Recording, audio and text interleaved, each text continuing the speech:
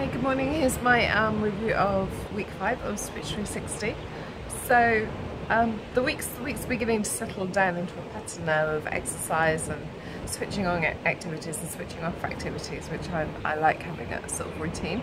Um, still some absolute hot favourites, which is Yellow Fitness, where we do some some really interesting exercises which um, kill you at the time, challenge your body something chronic, and then um, personally give me such an exercise high, which is amazing, which is what I really love.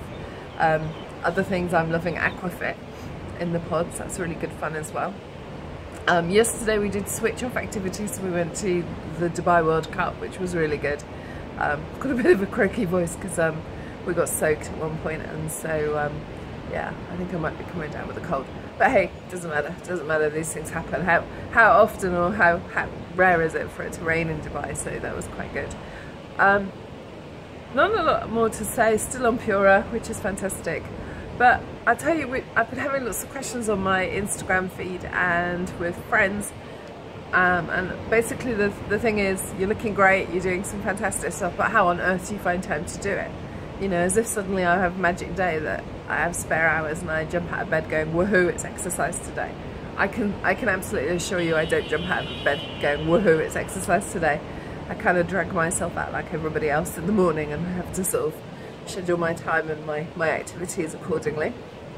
Um, in terms of doing doing the things in the in the evenings, which we're doing fairly much most evenings now, basically I just write it in my diary and treat it like a business appointment.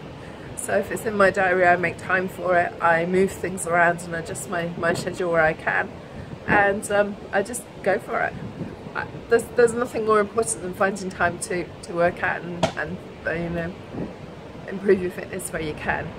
Um, other things I've done, obviously we had life coaching quite a few weeks ago now, but I have made sure that I've caught up with friends in real life, which um, I've not always been very good at. Sometimes I, I don't even catch up with them virtually on social media, on Facebook even. So I've caught up with friends for coffee, made a bit more of an effort to do that and you know that's been really good because it's good to have friends out here it, it can be a, a, lonely place in Dubai and it's good just to catch up have a laugh catch up with the gossip um, and yeah I've, I've enjoyed doing that and I've, I've kind of physically made an effort to do that which is good and I think they've appreciated it too family I'm obviously not in contact with so much because they're in the UK and they haven't been out for a while but we've been catching up a bit more on WhatsApp, which is good.